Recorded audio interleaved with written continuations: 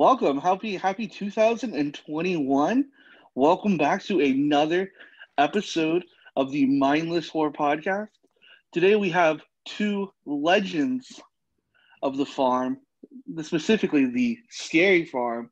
We got with us uh, Ed Kobb and Jeremy here. Uh, so this is gonna be a great time. Uh, we're gonna be having a great time reminiscing on that uh that beautiful place we call the Scary Farm. I, How y'all doing today? I think I think it's the beautiful place we call home. Really. Thanks, guys. Yeah. Yeah, thank you for having us. We'll Yeah. eventually call it home, and thank you for Yeah. having us on. No, thanks for thanks for coming on. I know I know uh, this is something that We me- appreciate you. Yeah. Uh, thank you. And we appreciate you guys 100% for bringing the nightmares to life every year. Um, but I, I, this is a podcast I've been wanting to do for some time. Um, s- specifically because I, I follow Sinatra on Instagram and watching you guys together in the off season is the funniest thing. It's its own reality Thank show. Thank you. I, I, I've actually told Ed that, the, that he has a following now, where I get people that message me and ask, "Dude, what, what's Ed doing today?" Well, You can you can thank COVID for that because I'll tell you, I was there one night. I was cooking, and this guy was bored. What else are we going to do? This was back in like in, in, in it was in March, like late March, and I'm cooking, you know, dinner, and he decides to videotape me and go cooking with Ed Kobb. And he does another one, Cooking with Ed Kobb, Volume Two. And he decides to put Chuck Mangione in the background, which old school guys are like, oh, this is a good song. yeah. I'll admit a couple of them were kind of irritating, as you could tell, like the checking mail, the stupid stuff. But eventually it became really, really funny. And it's just way too funny. He, there's at least like 30 of them now. It's a yeah, it's its own it's its own little reality show. I love it. I, I, I like specifically when I see Sinatra uh, on Instagram with a story, I'm like, I got to see if he did any Ed Kobb today, and Yeah, I'm yeah, never yeah. disappointed. Never disappointed. It's Well, a little backstory on that. How that actually started. It didn't actually start with Ed. It actually, uh, I I worked part time. I worked a few hours a week at a oh the Bevmo. Oh yeah, the and I and I had it on my Snapchat, and there was a guy that was a, a courier or a delivery guy, and he's a cool guy. His name's his his name's actually Anthony too, and uh, I used to Snapchat him like I'd be walking around the corner while he was like filling out paperwork or something. I go, dude, are you gonna work today? Are you gonna do anything? And I and I actually started having people like, hey man. Who's that guy you're always harassing? And I'm like, oh, it's just a, it's a, it's a courier guy that works for one of the uh, alcohol distributors. Oh, dude, it's funnier and shit what you do with him. You got to keep doing that, and it just kind of steamrolled. But it's weird now because like I actually have people. I have I I I, I have like nineteen thousand followers on Instagram, and they legitimately are like, "Hey, you haven't done an Ed Kobb thing. What's he doing? Is he dead?" yeah. And I'm like, "No, no, I just haven't caught him doing something stupid or da- daily life." Don't worry, I'll, I'll I'll get it. I'll get it. I'm surprised I didn't do one yesterday of taking down the Christmas lights with Ed Kobb. I'm surprised I didn't catch that. You should have got me on the roof. I know. But I wasn't thinking. I was thinking, well, I want to get these lights down, and it didn't come to mind until after. But it was too late. I, But, I you know. mean, now, now that I picture, I mean, you saying you were on the roof, the only movie that comes to mind right now is Christmas Vacation. Oh yeah, yeah, yeah, yeah. I, I, I Ex- Except our ladder works. yeah. There you Yeah, go. we have a working ladder. um, no, I, I I enjoy watching you, you on on Instagram because I mean we keep everybody really keeps up nowadays with Instagram. Um, You have to, yeah. yeah, I mean I, another thing I love about you guys too is um, how into like pop culture you guys are as far as like from the 80s but even back in the day and stuff like a lot of the, the stuff i like every time i see you guys like i remember one time you guys were watching bond film you doing a bond marathon and i was like dude that is legit like if i can spend a whole We have to finish that, by the way. Yeah, we haven't finished it. yeah No, we I mean, I specifically uh, when it was around, the t- and this was the, the one of the most saddest things that happened in 2020. But um, when Sean Connery passed away, uh, yeah. I, I really wanted to watch all of his Bond Bond films in specific again, just go back and just do a little tribute to him. But uh, Mhm. what, what was good about that this last year is when I went to go visit Sammy in Arizona. Uh, movie theaters are open there, so that was like a blessing. I love the movies. I, I, I before the pandemic, I was going to the movies at least twice a week, and Mhm. um, one of the movie theaters we went to was screening um, Indiana Jones and the Last Crusade. and I was like, dude, we have to pay tribute to Sean Connery. We have to go see that movie. And you can ask the entire the entire day leading up to that screening. I just kept saying Junior in Sean Connery's voice because that is probably the most I remember in that film. If you're going Junior, You mean you mean you weren't saying pushy? pushy Junior. That's that's another one. I also love, that's my favorite. I, I love when Sean Connery says that, but my favorite scene in that whole movie, and I think it's a lot of people's favorite scenes in that whole movie, is when he punches the guy off the the blimp and he goes no ticket, and then everybody just pulls out their ticket. It Oh is yeah. the best. I love it. Um, Yeah. I, I love it so much, and I also love too that uh, much like myself, you guys are big Funko Pop collectors.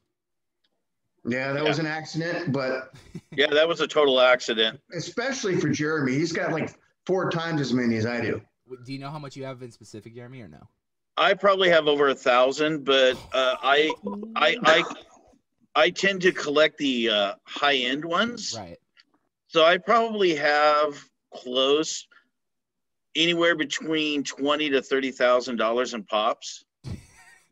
Wow. Sammy, you thought But that's I, not. Sammy, But, come on, but that's was not. good. But that's not the crazy one. The crazy one is my dad was smart enough, and my mom. Somebody told him in the early uh, 80s, like it was around 79, 80. He goes, You know, they got these Star Wars Kenner action figures out, Jerry. You might want to start buying them and keeping them in the plastic. Don't open them. So, two years ago, my dad actually completed, we have every single Star Wars Kenner action figure released. You have the entire set. That probably now would go for forty-five to sixty thousand dollars, depending on. So yeah, I've got quite a bit of money invested in toys around here. That's always. I mean, my my dad's the same way. I think that's the reason why I'm into the things I'm into and why I'm a collector. Um, my dad's a diehard Superman fan. Uh, favorite Superman of all time. He loves uh, Christopher Reeve. Uh, that was the Mhm. Superman he grew up with, and I remember watching those films as a kid and still loving him to this day. That is, in my opinion, that is Superman. Um, and you know, I, I would see him collect stuff because he loves the comics and he loves everything. He would always collect all. He, if you go up into our house, the first thing you see in the front room, two display cases just filled with Superman statues and busts. Um, so I think growing up, especially after I got out of high school, I started collecting more because you know when you get a job, uh, you start spending your money stupidly. Uh, and it, it's it's fun. I, I will admit it's fun, and I, I don't regret one purchase I've ever purchased at all. I mean, I, I have 300 plus Funko Pops. I have uh, like Infinity Gauntlets. I have I have a lot of like memorabilia that when people walk into this studio, they just look around and just mesmerized of all the stuff I have in here. So, That's what it's all about, though. yeah, For me- I've also got a lot of Twilight Zone memorabilia. nice. Um, I started collecting that about six years ago. I have the actual uh, the red Mystic Seer with the devil head that William Shatner would put a penny in, Nice. and it would tell your fortune. And I've got a Talkie Tina, Oh, And a bunch of like you know three and three quarter inch figures, just way too many, but Yeah. it's endless. You know? yeah.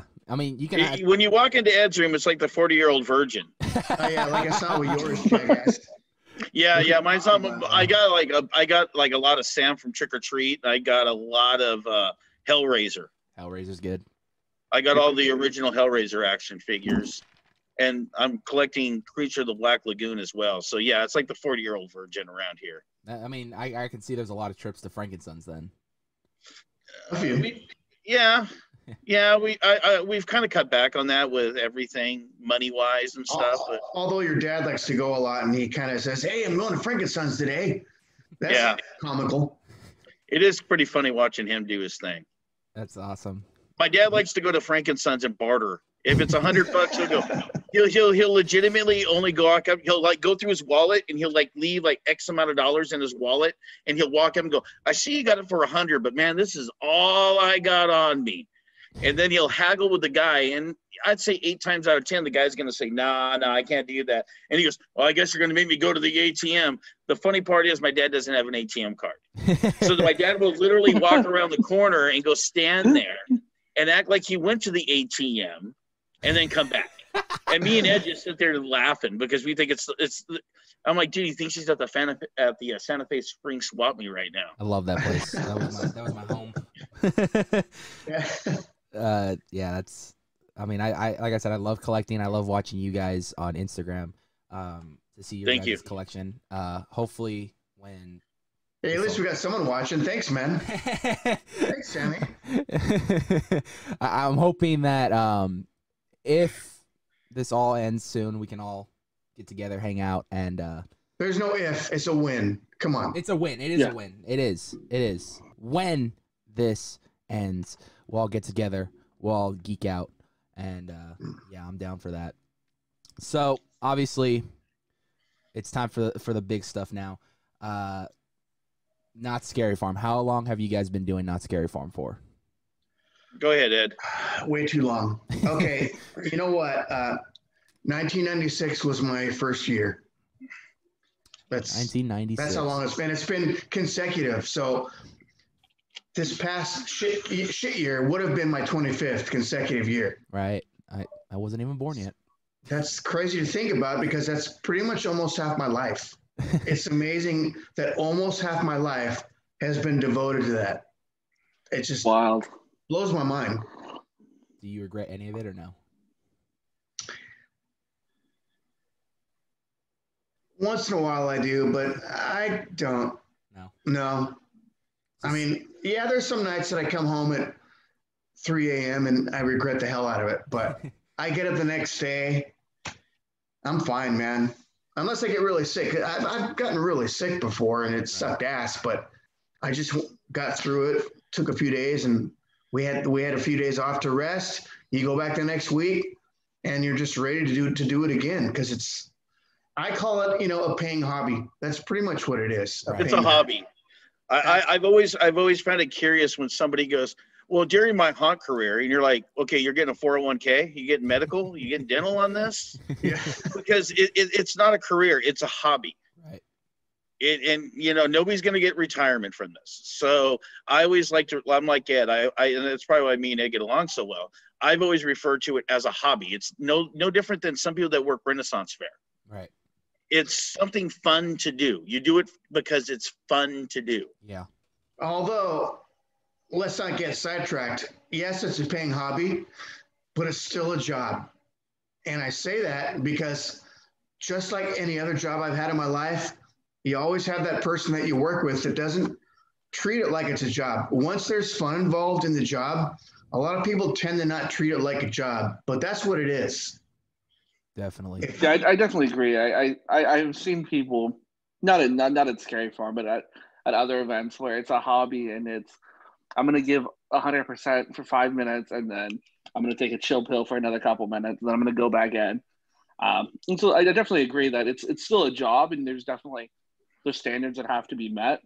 But at the end of the day, most people are out there because it's fun. I mean, they enjoy making people like me um, fearful of walking in the Yeah. the uh, in the fog that lies ahead. Uh, what year did you begin, Jeremy? My first year was uh, two, I, I- God, it was either 2010 or 2011. I can never remember. Um, I'm actually a, a licensed realtor, Oh, nice. and uh, times were tough being a realtor then.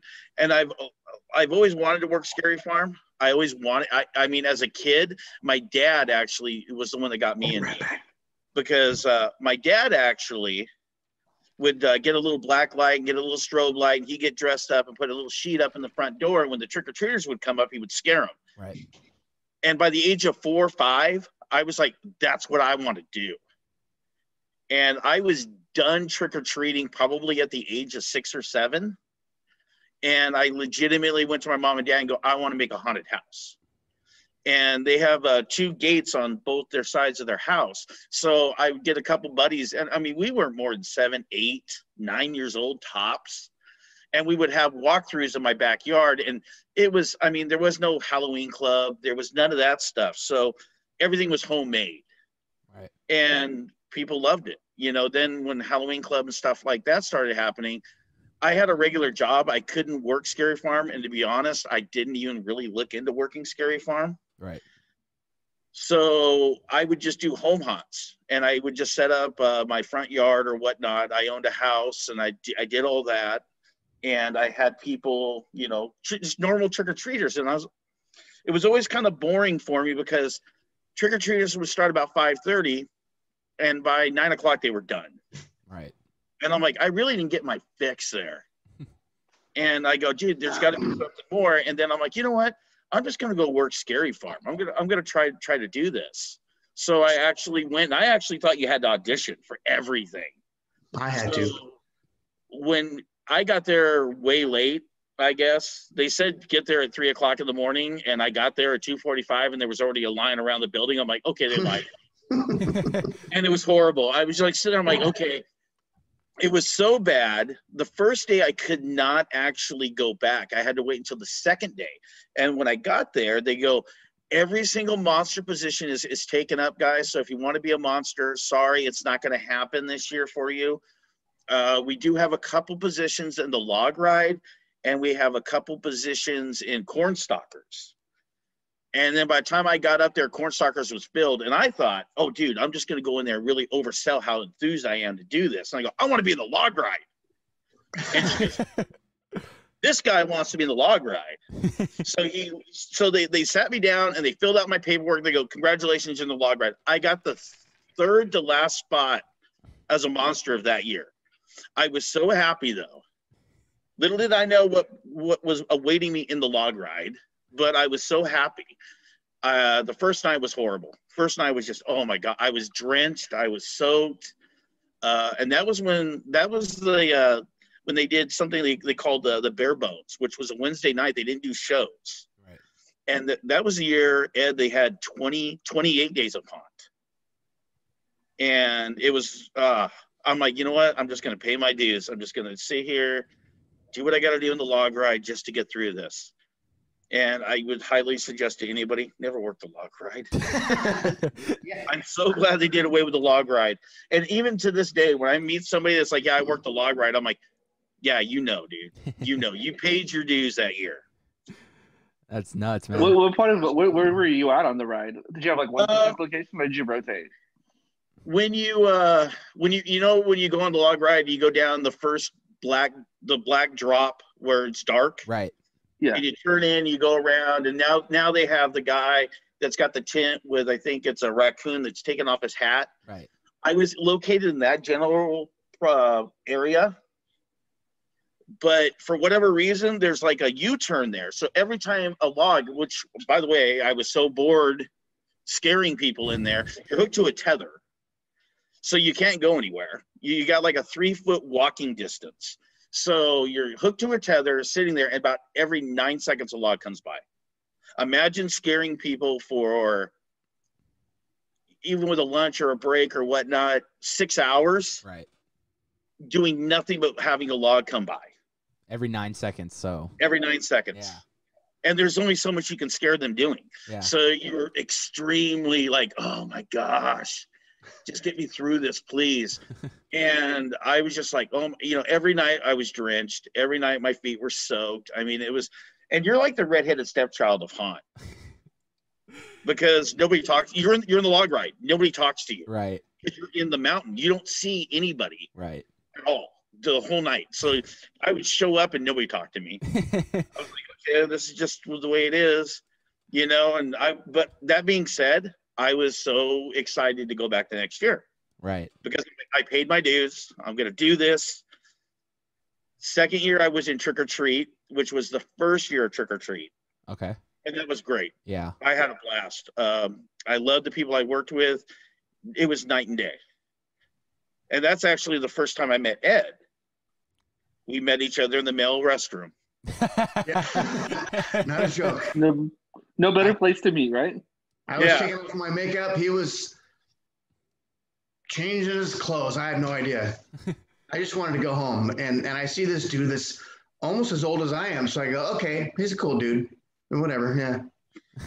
Yeah, so you know, he, he, he was in Ghost Town at that time, so he's taking off his. He actually thought I was one of the main tricksters. I did. Yeah, because we had the tricksters going around the park at the time. right. Yeah, So I thought, well, he's old. He must be experienced. He must be the main trickster guy. yeah. Because, like I said, I didn't start. I didn't start working haunt until I was 35. Right. So I didn't go through my 20s doing this. You know, so for me, it, it was a. It's still. uh, I I came in it. I came in it looking in a different light than I'd say a 20 year old would. Right.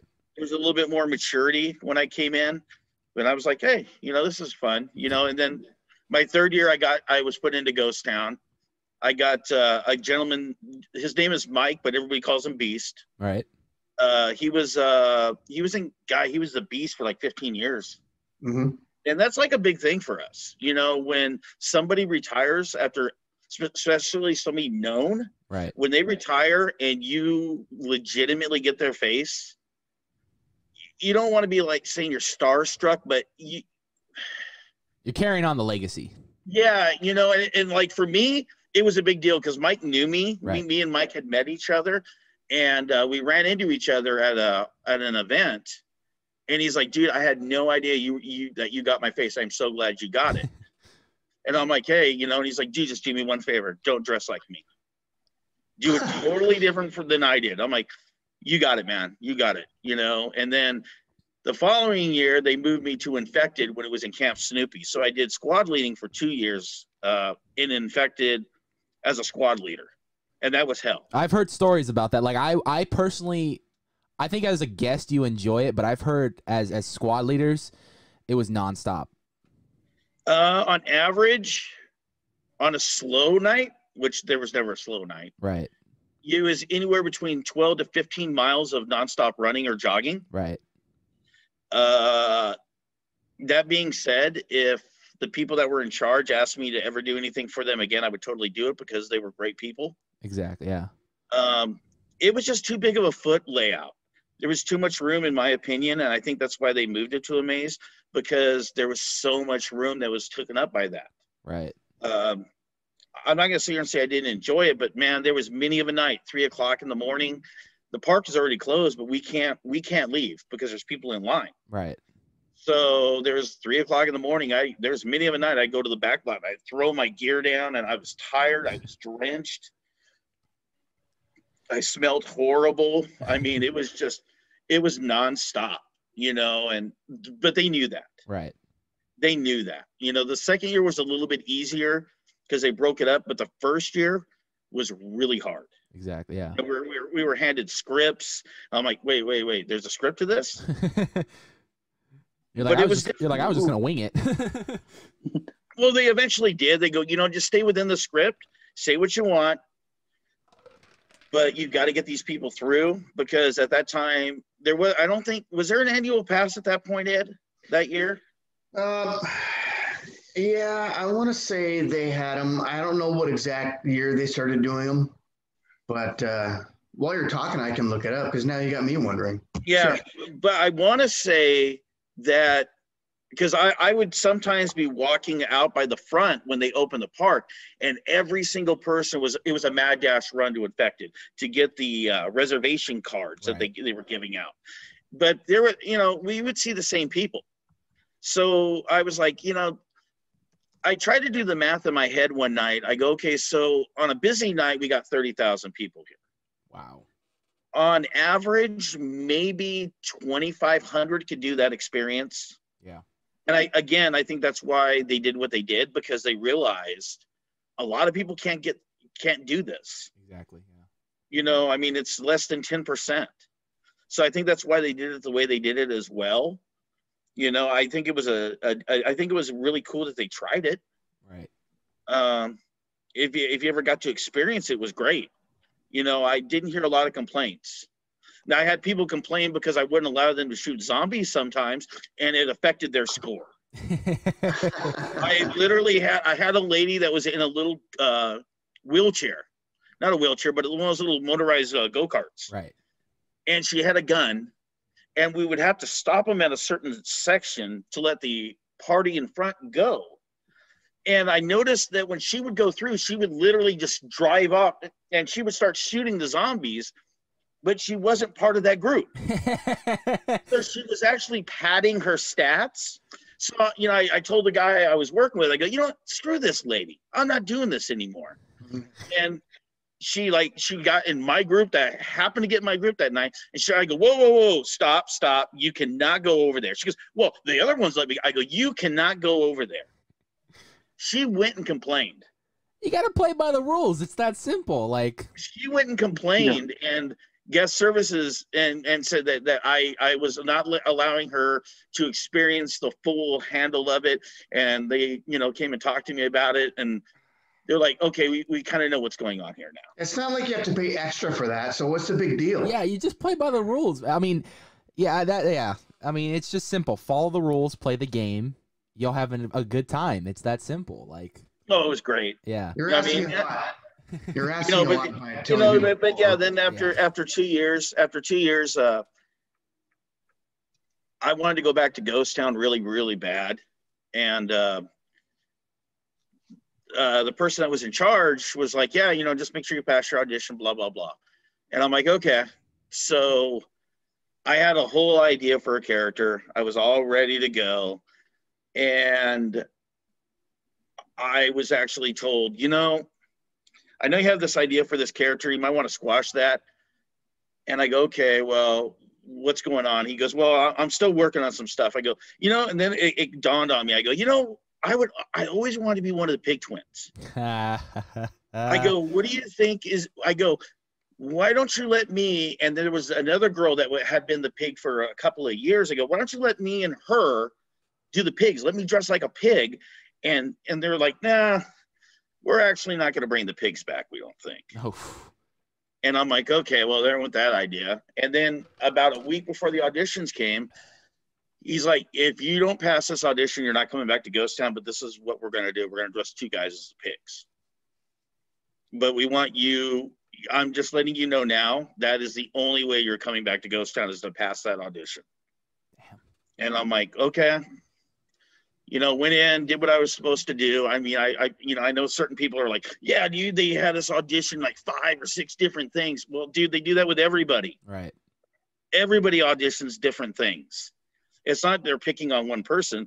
They legitimately had me in that particular instance. I had to play a farmer hick zombie guy selling whiskey. Nice. And then they said, okay, now we want to see you do a pig. And I just did what I was supposed to do. And they go, okay. They go, okay, well, yeah, you got it. Go down and, uh, you know, check out your suit, you know. And I actually spoke with that gentleman, Mike, who was the original beast when I was the pig twin. He goes, you know, you've had it pretty easy here. And I go, what do you mean by that? And he's like, you've had two iconic roles in Ghost Town. He goes, you, you had mine, and now you're a pig twin. And he goes, and you're a sliding pig twin at that.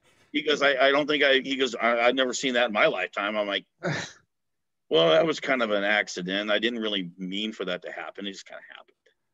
Hey man, I, I mean, I, I could I could say firsthand. Me and Sammy, we spent endless nights, and it, you you may have seen us. You may have had.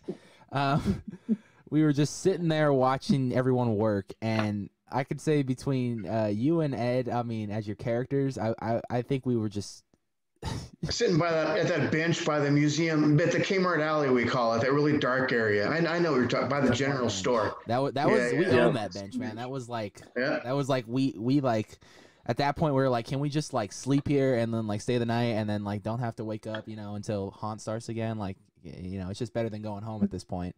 Uh, we're gonna come back tomorrow anyway. Um, but that was not our original bench. We actually the original one when we first went like in the beginning was actually in the middle, really smack in the middle, right in front of Ghost Town Grub. Um, the bench that like faces like in a curve that like points down the to Fog Alley. That was the original bench, and then on pack nights it just was getting too packed there. So we're like, let's go find somewhere else where like we can be out of the way, we won't get hit by people, and we can enjoy everything. And that's when we found the one in in Kmart, and I was like, this is perfect. Like it's out of the way, it's in the corner, uh, and it has that like light coming down, so people can't see us, but we can see everyone getting scared, which I thought was hilarious. Um, Yeah. and and the funny thing about it too was uh, every and, and, every night we saw Ed, he would always and, and me and Sammy called this the finger of respect. It was always like that, and then he'd walk away, and I was just like, "Yep, there, there's the respect right there." Like like shame on you. I'm gonna go That's what it really meant right there. There it is. Yeah. We were like, he knows us. He respects us here now. He's, He's, like, "Nah." He's like, "Nah, you dude, get out of here. I've seen you too much." you guys. I've been seven laps. You've been here every time I've gone around. Leave. I think the funniest too was uh one night Ed saw that I was wearing a a vest. I, I love my vest. I, I love patches, and he just comes up to me and goes patches, and then walked away. And I was like, oh okay, Did I? yeah. I believe you. it was it was great. I was like, I- I'll take it. I mean, he he likes patches, so yeah. it was a great moment for us. it was it was Well, that, that, Top that's, a good, that's, a good- that's like really a good area for you guys to sit in too, because you guys actually do get to see a lot of the different characters as well. yeah because pretty much everybody uses that to walk around and you can kind of see you know like i've i've always been the person that's i like to see everybody kind of sort of represented Mhm. I mean there's there's some there is some phenomenal talent in ghost town and you should really try to get some of these people on your podcast some guys like morty chopper right. virus forks i mean there's some really great talent sledge is another one um, that you know, I, I i don't know what it is but they just they, they just get overlooked Yeah. you know and a lot of them have been in that zone for over 10 years Right.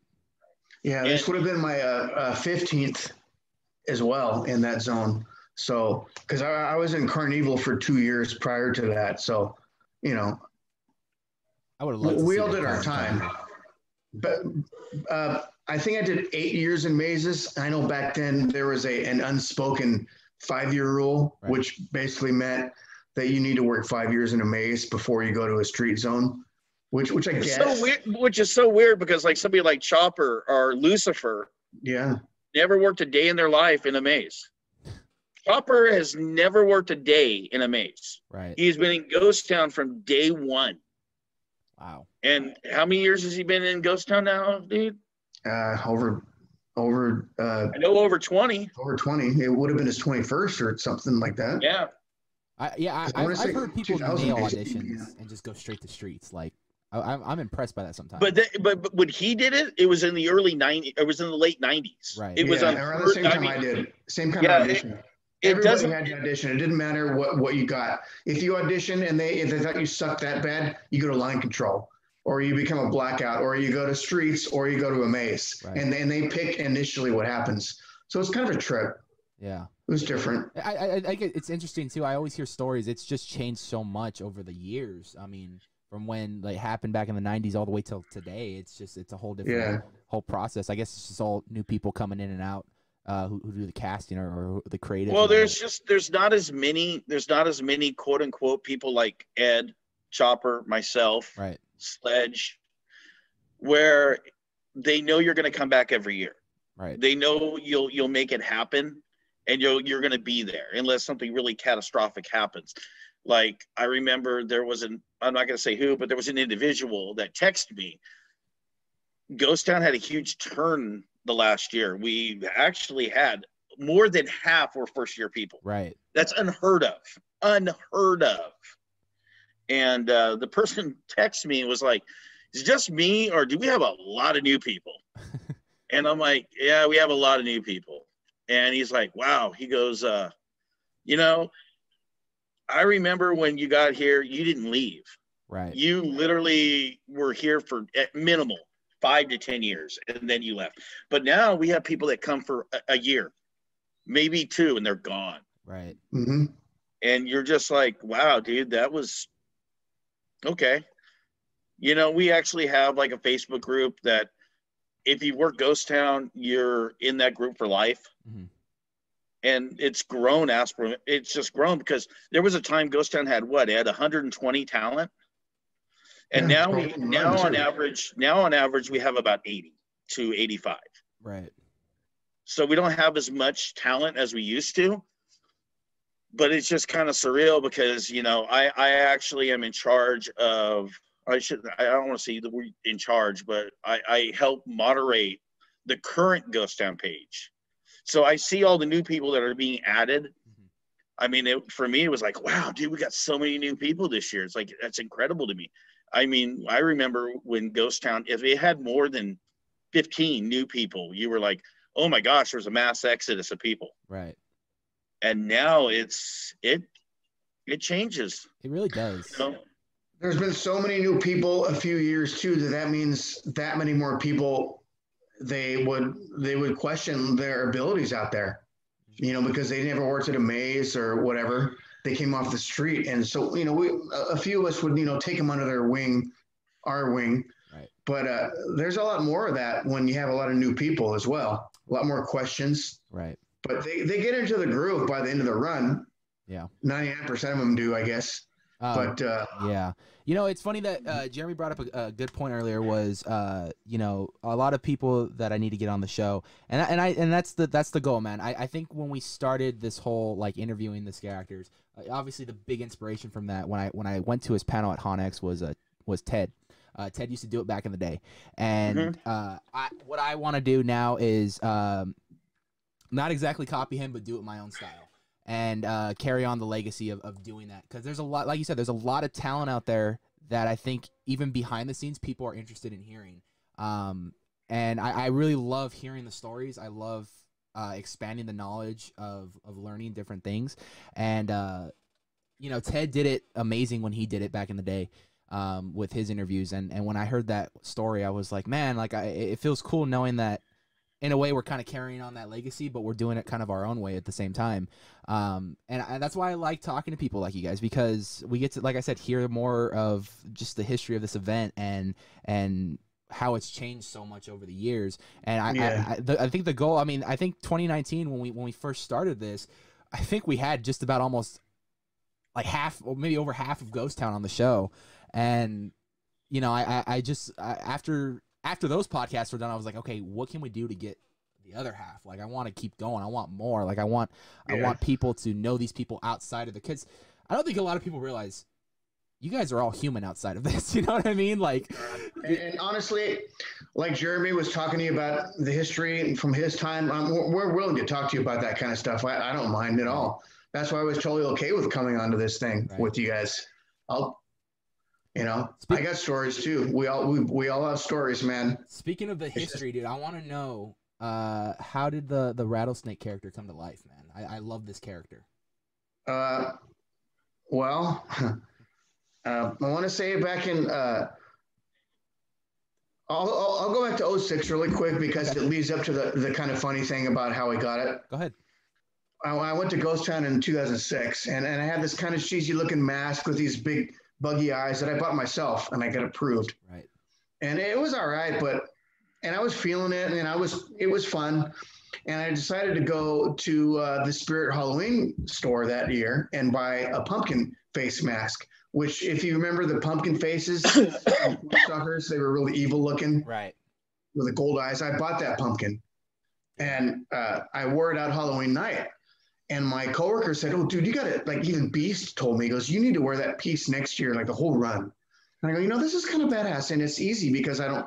It's you know, can't you can't see my eyes, so I just hit I just put it on. and It was easy to take off.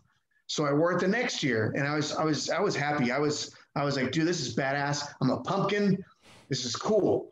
So OA comes around, and uh, uh, Craig stops me. Craig was the big guy. He was the haunt father back in the day. Right. And he goes, uh, I just want to let you know uh, that I I nominated you for uh, for makeup. And you know, if if you don't ask and whine like some people do, and they just give you makeup, it's kind of a big deal Right. but there's some people that kind of take that for granted that don't understand. But when you've been doing it so long and they come to you and they say, you have makeup, that's that's like getting a raise at your day job you, you didn't have to ask for. It. Right. You know, if that makes sense. No, It's yeah. weird. Definitely. So he tells me I, I nominate nominate you for makeup, and I looked at him with a blank stare, and he goes, "You know, if this is too much pressure, you know, let me know." I go, "No, no, no, no, no, I'm good. I'm good. I'm totally cool with that." Right. So that was when I went and I met Denise. She was she was in charge of makeup at the time. Right.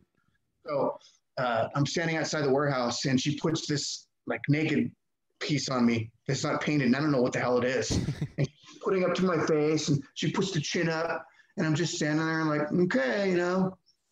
And so she puts it down. And she goes, "All right, we're good. We got our snake. Have a good day." And I go, "You too." And as I walked off, I go, "Wait a minute, I'm a snake." I go, "Oh, And White Snake was played right in his head at that particular moment. Stop interrupting, Mr. Trump. God.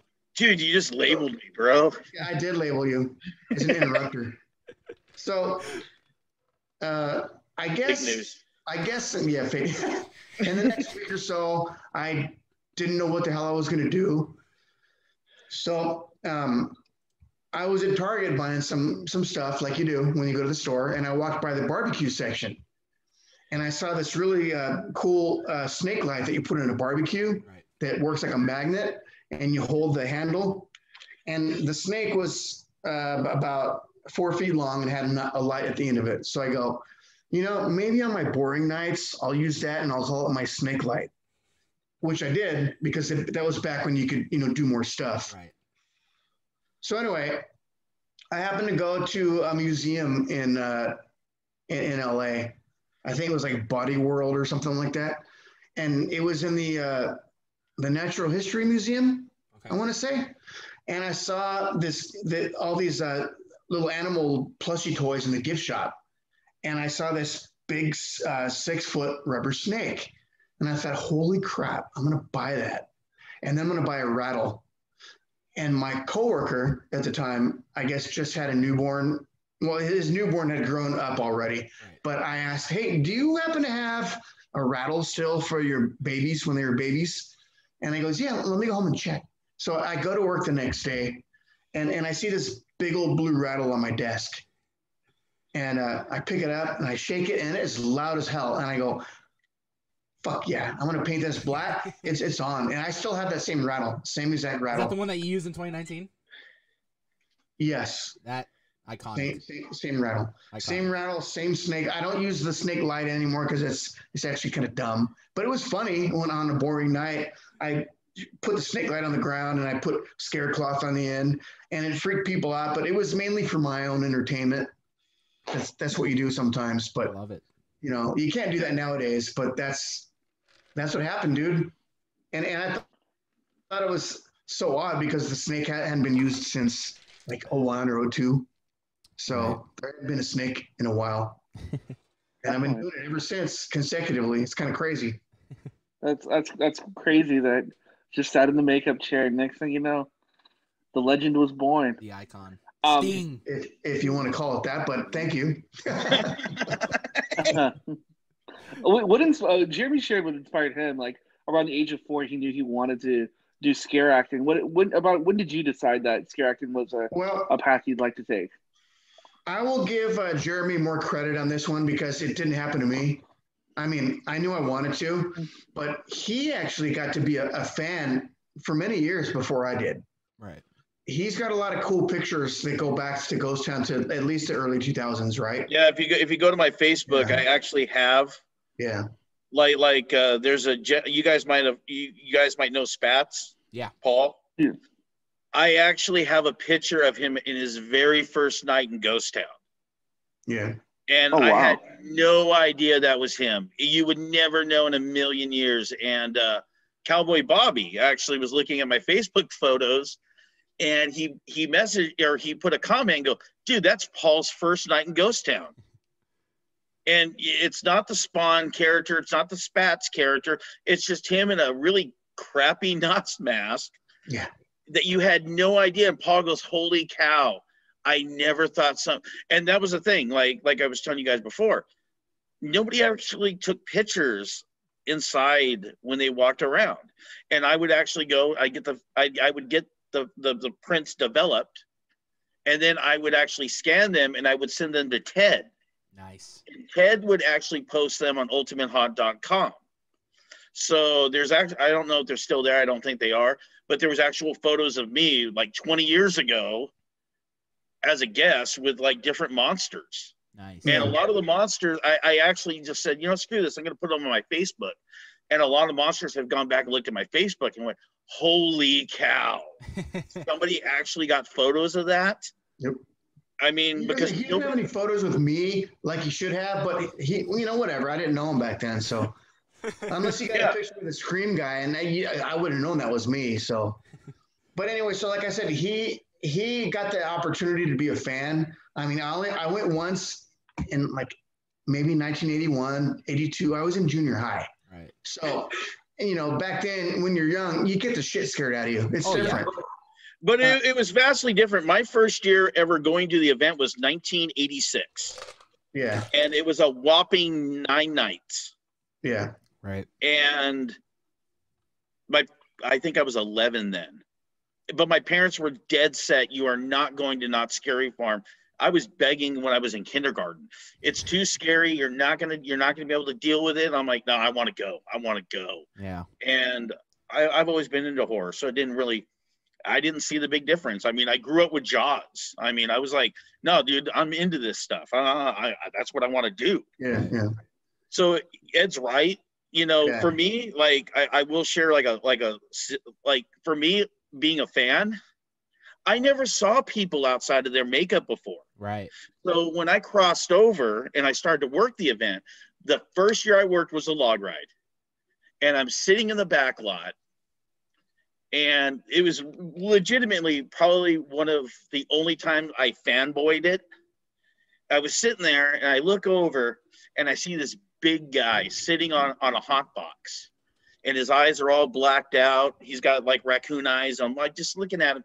Then he goes over and picks up this black werewolf mask and they go that's lucifer so that's what he looks like without the mask on that was like like legitimately and the only other time i kind of sort of fanboyed it being a fan growing up was uh, when jeff starr came back in 2013 right. and i was in ghost town and they were like yeah and jeff was living in australia at the time Wow. and they were like, "Yeah, Jeff's coming back, and he's going to work haunt." I legitimately st- stayed back while they were walking us through the mazes just to hang out with him, just to get to know him. and now me and Jeff talk at least twice a week, and we're all about craft beers together. He's like one of my best friends. right. You know, I mean, he's moved on now. He's got two kids, got a wonderful wife. And me and Ed, I mean, me and Ed were able to go out and have beers with him, what, like three or four months ago? Sure. I, I don't even know times anymore, but yeah, that sounds about right. Yeah, we actually met up. That's the first time I've seen did. him in a year because he's we got went to two kids. Logic. Yeah. You know, but like that for a fan coming over and working it and then seeing people that you, I don't want to say admired, but you were just like, dude, that is like the coolest character I've ever seen. Right. Yeah. And now you're like sitting with him having a beer. Yeah.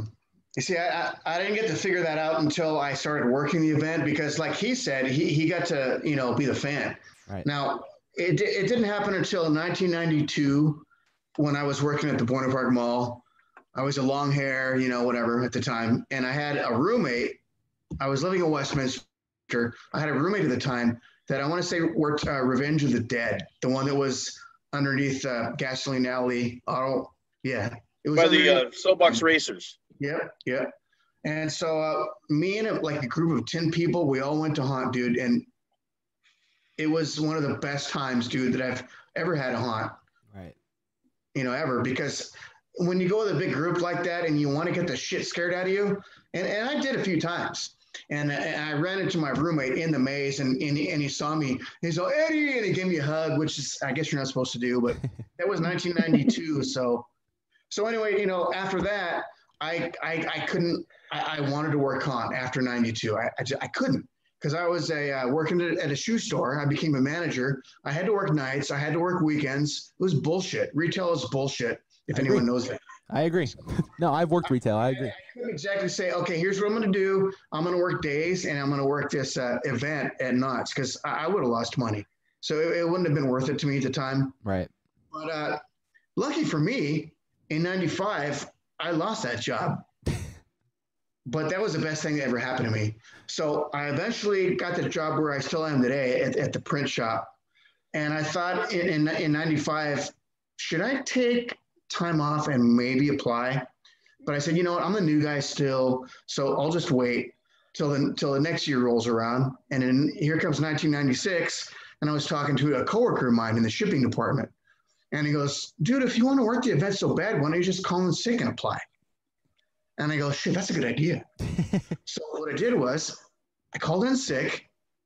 I drove to Knott's, got there like 10 a.m. when the little trailer opened up in front, employment center. Yep. And I turned in my application and they ran a few things and they said, okay, you're good. So come back at four o'clock for auditions. And I go, okay. And I go, auditions? Because th- th- that was back when they auditioned everybody. Right. It didn't matter.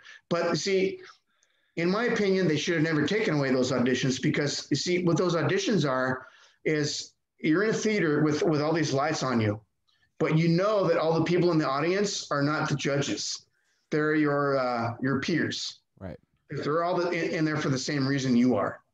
The judges are off uh, on the wings on the, on the left and the right. You can't see them. Mhm. So they basically make you do the same stupid thing like Jeremy had to do. Like for me, uh, I had to act like this funky Wolfman guy behind me giving a presidential speech. Okay. so I did that, and uh, uh, and then they said, okay, and say your name in that voice, which I thought it was a wolf. He was some hairy looking dude, kind of like what I look like now, but uh, uglier. Maybe not as good looking. Ed Kobb's So- very good looking, man. Come on. And, and, and then and then right before and, and, and, and by the way, just so you know, I was the last group out of maybe 15 groups to go up because you had to go up 10 at a time. Right. So they get to me, and right before they say do your best scare, Channel 4 News comes in. So I'm doing this like over the top scare because because I figure you know what I don't know shit what I'm doing, but all- all I'm gonna do is I'm gonna be a jackass for three minutes, and whatever happens happens. So I do uh, my scare thing, and here's the, the camera, and and then we're done.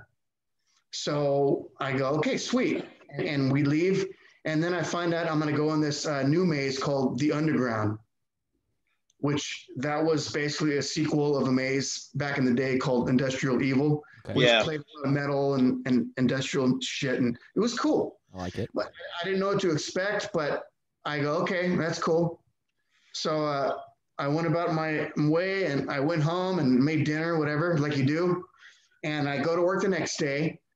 And uh, one of the drivers stops me and goes, Dude, I saw you on TV this morning. And I go, oh shit! I hope Lisa didn't see that because I called in sick yesterday. And uh, so, uh, so, so I, I get to Knott's. You know, we, we do the whole orientation that we do. And uh, the first day I go to the underground, and I'm some. It's some like wasteland. It's like a predecessor of what uh, that, that that one the John Cook maze. Uh, help me out here, Jeremy. Uh, the one that was the one with all the metal music that John Cook did. Are you talking about in games? He didn't do that. It was a predecessor kind of to that. Yeah. Yeah. And, uh, you know, I was dancing around to Ministry and Metallica and Rob Zombie. And to Def this day, Leppard. when I hear when I hear Electric Head Part Two, I will never stop thinking about Haunt. That's what it does to you. So so I get to Haunt, and we have our little groups that that that that, that we have to break each other. And I got stuck literally in the very first spot in the maze, which was kind of kind of funny to me Right. but everybody in my group they were they were they were all they, they were deaf they were deaf people so every time they had to go on a break they had to go do the sign of break and i had to go up to them and do that too. So i thought that was kind of odd. So you know that year went pretty well for a rookie i guess. I had i had a blast. I was a nerd after that for haunt There you go. I'll, I'll say this uh, for eight months I had I always had a dream of going down this big long hallway that was at least 20 feet long because that's what, was in the maze Right. there was a, like a 20 foot hallway and uh, it was just all these lights and a couple monsters running at you i had a dream i was walking down that freaking hallway for eight months dude that's how much of a nerd i was You missed it, man. I mean, that, I think that's what. Yeah. I mean, I, the first time I ever attended Scary Farm was in 2008, Mhm. and, and I was there for about two hours.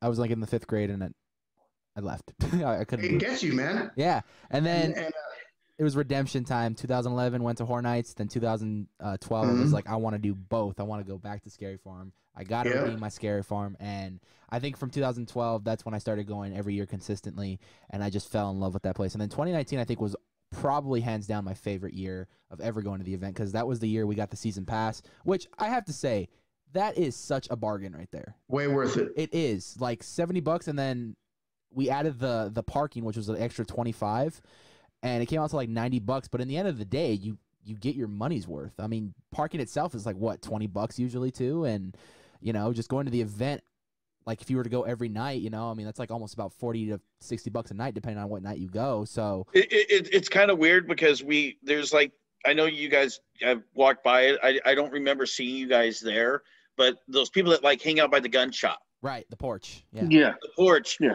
the same people are there every night. You know, and you kind of like walk by and you kind of feel like you're going to work. You know, you're like walking by, hey guys, as you like go and do your thing. You know, and you know every once in a while, like I'll get some, I get somebody like, dude, that's a dude.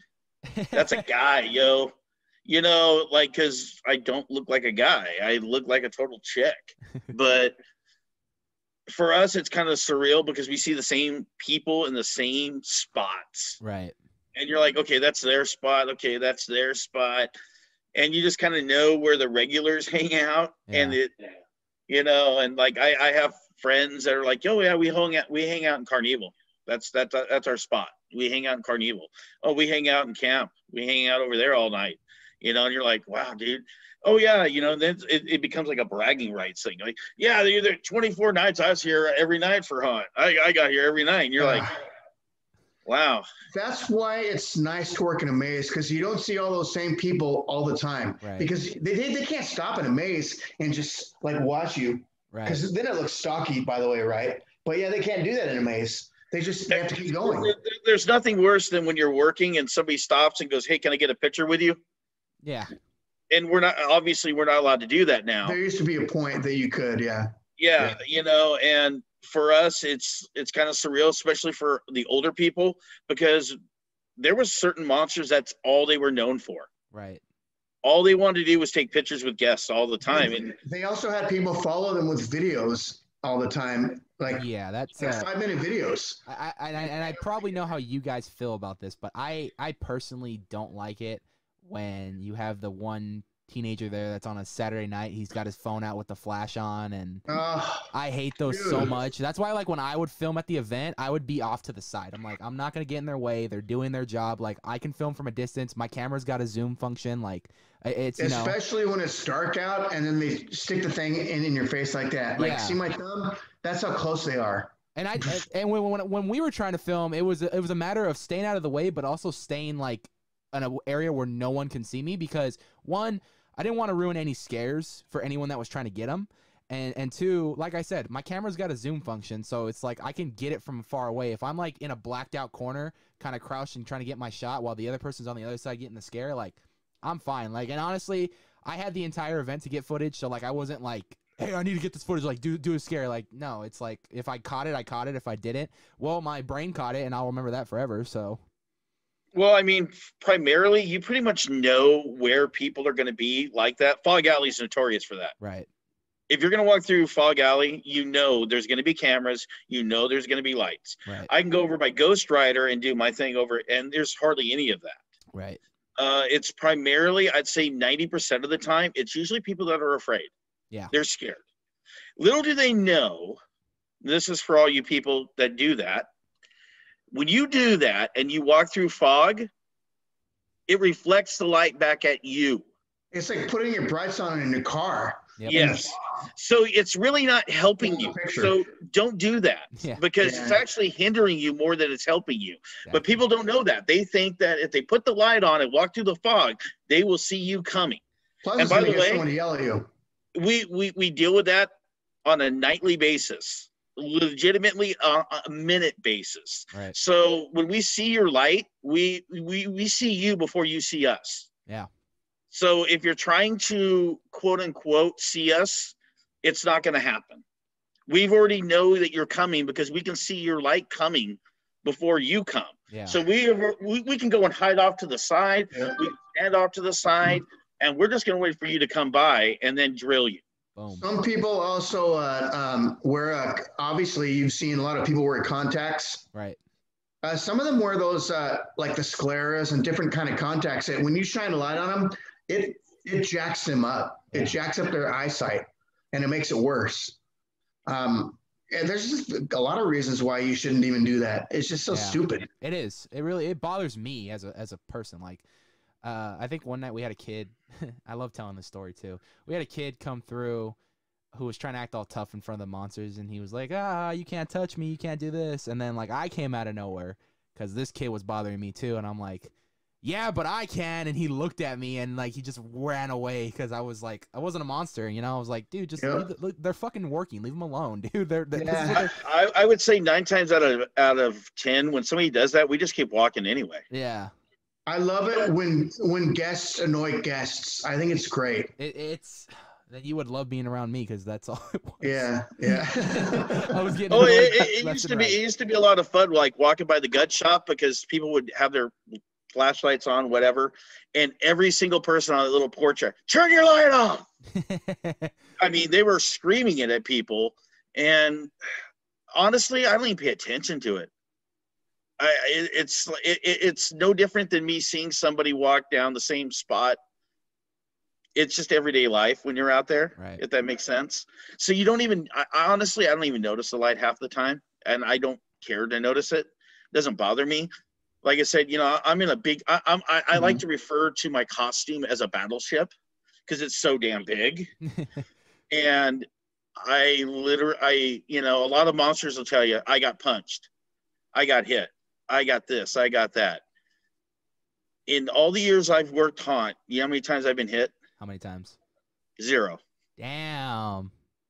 You're the I only first got person I on only this. got clocked once really really good, and I got a fat lip when I was a, a scream guy in Horrorwood Hotel back in See? I don't know, 01. And that See, was beginning beginning of the night, and I got him kicked out like around 7:20 at night, and that was cool.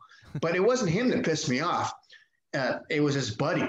Pi- I was sitting in my chair and I lunged at him, and he just like pulled back and clocked me like really good. And it was not a reaction. You can tell he actually pulled back. You don't pull back when you're clocking someone, and that's not a reaction. Yeah. So when I took my when my mask fell off my face, I started yelling at the guy, and his buddy got in my face, and he was the dick.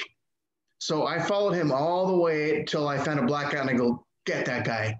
So it just so happens that there were actually Buena Park PD outside of the dance hall, and I told him everything that happened. He looked at my face, and I, I guess I had this crazy fat lip, and he goes, um, you know, do you want him kicked out? And I go, you know, I don't want to deal with the paperwork, but just, just, and he goes, I'll tell you what, I'll run him for warrants and I'll scare him a bit. Is that cool? I go, yeah, it's totally cool. And then he ended up kicking him out anyway. to me, that's comical because I've seen people get kicked out and their friends get pissed at them because they go, you asshole, why'd you get us kicked out? Yeah. To me, that's, That's you know, hilarious. if you're going to be a jackass, just, that's what you get. I've always, I've always been under the impression that if you get hit or whatnot on a constant level, Right. I'm not talking like something like you get hit like two or three times a year, right. but I'm talking you get hit every every single night. night. You're doing something wrong. Yeah. I've worked you with need, those. to, you need to reevaluate what you are doing with the public because I, I, you know uh, I have a true story about that, and I think I've told you, Jeremy. I- I'm not going to say this individual's name. You don't know who it is, but my first year in Ghost Town, I got I got pulled aside by someone, and she go and and I guess she had an altercation with some people. So we were standing by the candy shop, and so I got pulled in with him and and the and the yellow shirt guys in the break room behind the candy shop, and she explained what happened. Da da da da da da. And and I guess I saw. I didn't see, but whatever. I kept going. I'm the rookie. I don't know what to do. Right. So the yellow shirts go, okay, we'll be right back. We'll, we'll get some paperwork. And then this chick proceeds to look at me and goes, okay, this is what happened. You turned around and you saw me get hit and da da da da. And I'm thinking, what? so that happens, dude. And, and, and I'll call it a crying wolf. A lot of people like to cry wolf, if you know what I mean Right. because honestly, if someone just comes up with you, there's some people that if they come up and press you by the side like that, they freak out go, "Oh my god, he hit me! Get him kicked out!" And there's so many of that going on, and I kind of think that it might bug security, but I'm not trying to side with with with, with anyone on this. I'm just saying that if you're going to cry wolf every day like that, that might say something about your judgment and, and all that shit, you know? Right. and by and by the way if you're a general another little uh, psa for people that are go, that are guests do you really want to touch a sweaty monster that's been working for five or six hours Yeah. do you really I, you know because i'm like you don't feel free to touch me yeah. feel free because you're going to get nothing but sweat on your hand my wig is destroyed Well, i am drenched if you're gonna be that stupid, I will tell you. We know Lost Boy, Jeremy. Yeah. He used to uh, uh, get scare cloth and, and get it wet on the ground with muddy, yucky wetness. Right. And he would hold it up and he would tell people to lick it. Oh. Dude, people licked it. My friend Noah got a, a half-eaten chicken thigh out of the trash can and took it out and had someone take a bite of it. People are stupid. So those are the funny stories that were that, that I was going to tell you, or shit like that. I mean, People anything that a monster tells them to do. It's- I've actually we experienced that firsthand this year uh, with Virus actually, and I think it was him and Merrick, or it might might have been one of the Pig twins. Um, It might have been John. I, I well, I, I play with I play with virus too, so it might have been me. it, it, yeah, I don't know if it was you or the other one, but basically these two girls they they went into this like little like cattle right in front of the barn by our. Yep, that was me. That was me. Yeah. That was me.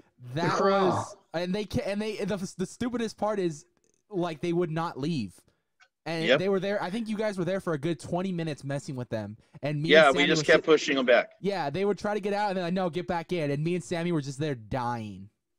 Okay, okay. Since we're telling funny things like that, this individual that told me, okay, this is what happened. You th- in my first year, Right. okay, I was. It was a slow night. I go into into Boot Hill. You know when you go in uh, the graveyard, you make a right. and there's the uh, the graveyard that's got the, the fence around it, Right. the, the, the gate wrought iron fence. Yeah. I was bored one night, and I told a couple people to get in it, and I told them that there were scales in it, and it's going to weigh you. And if you get we get enough people in this tonight, uh, there'll be a light show. I don't know how I thought of it, but I was bored. Eventually, throughout the night, I got uh, 11 or 12 people inside that wrought iron fence thing. I don't know how, but they were stupid. And I said, okay, hold on.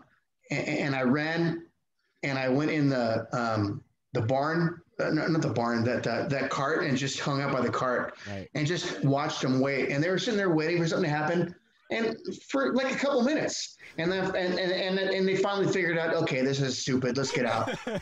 Like, See, and it was, it, it was probably before you guys' time. We used to do uh, the. Remember, Ed? We used to do the, the fake maze. I heard. I've heard VIP stories mazes? about those. Yeah, we would tell. Hey, I know you've seen the lumberjack maze. I know you've Yeah. seen Anthony, Sammy. You've seen the lumberjack maze, right? Is that the one on YouTube? It- It's on my YouTube. It's called Lumberjack Maze back in 2008. I think I've seen that one. That yeah, I was think I've back seen it, when, yeah. uh, uh, that was my first year as the snake, and one night I was a female snake. I had a red dress, and it was Halloween night, and and, and I had the my artist make me up as a, as a chick. So you can't do that stuff now, but back then I don't know what was going on through my mind. Why did I do this? The only reason I did that was because we had already done the lumberjack maze Right. but we decided that on Halloween night we're gonna make the transvestite lumberjack maze. so I said, okay, that's cool. Well, let me see if I can be a chick because I had a blonde wig from when I was a carnival. right. So I showed up. I go, can you make me a chick? And she did. And I ended up looking like that female gremlin, you know, with the big lips. Maybe yeah. you've seen that. I don't know, but Yeah. so eventually, uh, halfway through the night, when I knew it was supposed to begin, I go upstairs because I knew people, and I got a red dress, and I and I walked through the park in that red dress, dressed as a chick, and we and we hung out in the maze, and it was pretty funny. It was comical. I, I, you know what the VIP. I've heard so many different stories uh, of the VIP mazes, uh, and some of them are really funny. And I'm just like, how on earth did you get away with this? Like, I have it's- no It was, a, idea. it was it was it was a different time, dude. Yeah. It was a different time. I mean, now I, I don't blame Knott's because we, we live in a in a PC world Mm-hmm and we have to abide by rules. And I 100% agree with with I would say 95% of what Knott's has put into place. I agree with. That being said, I do miss Dusty Geezer dressing up as the candy corn man and racing through and watching him and Jeff Starr Yep. dressed like Elvis I- impersonators. I got to work with him and Jeff for a few years, man. It was great. That's Uh, but. Those times are done, and it's. I'm not saying it's not fun still because it is. It's just it's different. You know what I mean? yeah, I mean, uh, my dad always says it. Famous quote. Everybody says it. Uh, Nothing lasts forever. Everything changes for better or for worse. Yep. Well, and I, I like to tell the younger kids that like start out like in Ghost Town because you got to realize there are a lot like you guys where you guys hear stories. You're like, dude, I would have loved to have seen that. You know, and a lot of kids really want to do that stuff, but then they, like Ed had said originally earlier, it's a job. Yeah. And we have rules, and you have to abide by those rules. And a lot of these kids come and they go, I'm not having any fun. I'm not da, da, da, da. and you're like, dude, it's a job. Yeah. You know, How hard is it to not have fun doing that? Dude, I I I, I see it every. I- It's fun just being there as a guest, yet alone getting to dress up and, and getting paid to do that. Like, what other job in the world lets you do that? You know, I know. it's like there's very few haunts that come around and that will pay you to scare people. Like, what other job lets you do that? Like, that is like the coolest thing ever. Like, if I, if there was a way for people to do that full time, I think a lot of people would jump on that. Oh, Mhm. I, I, me and Ed know quite a few that would do it year round. There's Right. no ifs, ands, or buts about it. You know, there's a lot of guys that are like, I'm an entertainer. This is what I do, Yeah. and I'm going to do it year round. And you're like, dude, it's February. You know, like me, I don't understand why people go to the park or the rink and slide in February. Right. I'm like, what are you doing? You, all you're doing really is destroying your gear. Yeah. Well, I got to stay in shape. In shape for what? You still got six or seven treadmill. months, man. Get Yeah. on a treadmill, run around the block. Yeah. Go for a walk. You know, like you know, but a lot of them are like, nah, you know, and every once in a while I'll see it on Facebook from, from certain people. They're like, hey, I'm going to the rink today. And I'm like, dude, it's March, bro. I think You if know, I were to and- ever go, it would just be to learn because I don't know how to do it, and I would like to learn how to do it. But I, I don't even think I'd go to Okay, rink, like True, true story. True story. I have never, I took that sliding test without ever sliding one day in my life. really. Yes. Wow. And I do it in a fat suit. Yeah. No, that's true, and, and you're good at it too. So for me, and, and, and that being said, I don't do what Decade Brigade does. I don't do tricks. Uh, dude, I'm a bowling ball. yeah. I got one thing I can do, and that's the only thing I can do. That being said, I've never hit anybody. I've never done anything destructive. I know what's within my limits. But then I see certain other people, man, that they've took that test three or four times and they can't pass it. Right. You know, and for me, it, it's like I don't get it. I don't understand why you have to practice year round when I can go out there and I can practice for 15 minutes and I can pass a stupid thing. Yeah. I am I am 46 years old now. I didn't start sliding until I was 43. Right. So for me, it's very difficult when people are like, "Yeah, dude, you got to stay in shape and you got to practice year round." You're for what? I don't get it. What Yeah. are you what, what are you practicing for? Exactly. That's just my opinion. I you know if they want to go out and do it, that's that's their thing. I just want to see if I'd be able uh, to do it. I broke an ankle like a year or two ago, so I don't know how my limits are.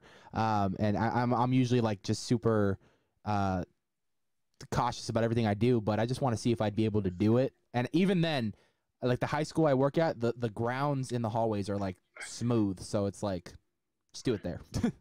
Yeah. you know, I mean, now Knott's is again times change. Right. Knott's has us actually have to pass a test every single year. And I'm, I, I, you know, I heard people, dude, I took that stupid test and passed it 15 years ago. I'm like, wait, what? Just go and, do, dude. If, if you know what you're doing, you shouldn't have have a worry. right. I mean, the first two years I was terrified because they made me take the test in the stupid fat suit. Yeah. and that was you know that was kind of difficult you know but i got the hang of it and i'm like okay this is what i can do and this is what i can't do. I mean one i can't use my hands. My hands are literally all they can become is a rudder. I cannot because i have big breasts and my hands can't do anything Yeah. because those are in the way so everything i do it all comes from uh, leg propulsion right. so my my legs are pretty dead by the end. Like this last year, last hour or two, I work. I used to take my pads off because I was just like, dude, my knees are killing me. Right. You know, and I'd actually even said, you know, if we were going to come back last year, I was like, "Yeah, I don't think I'm going to slide anymore. I don't know. I'm really getting up there now. You know, it's not my knees feel fine. I don't. I'm not in any pain, but you know, all it takes is one bad trip. You know, I see a lot of older sliders. They walk bow legged. Jeff, Jeff Starr is jacked up now. Jeff was Starr. shocked at that. I, I, I consider Jeff Starr probably one of the top three greatest sliders ever. He, he- he was crazy out there. Yeah, And he was nuts. People And- have inspired me to uh, not slide because I want to be able to walk when I'm 70. I always make that joke. Yeah, But Yeah. and I do low impact slides. So my slides Yeah. are very low impact. So I don't do what they did, where Jeff would get a running start and jump five, eight feet sometimes in the air and land right on his knees. yeah. I don't do that. I'm That's not a the kind fan of of that. of sliding, and I'm a fan of sliding, and I love watching shit like that. I it's just like I said, I want to be able to walk when I'm that old guy Right. someday. So I'll watch it. I'll watch it endlessly. But yeah, So not for me. With that being said, uh, obviously, you know, 50th is, is coming near, and I, I've heard a lot of people say they're just going to hang it up after the 50th. What about you guys? Is that are you going to wait to the 50th? Or are you going to keep Well- RC Go ahead, go ahead with this one first, dude. Well, what, what I will tell you is there's a photo that uh, a certain group of us take every year. Right. And uh, two years ago, it started with this. And not last Oh, year, wow. but the year, but the uh, 2019. It went to this. Yeah.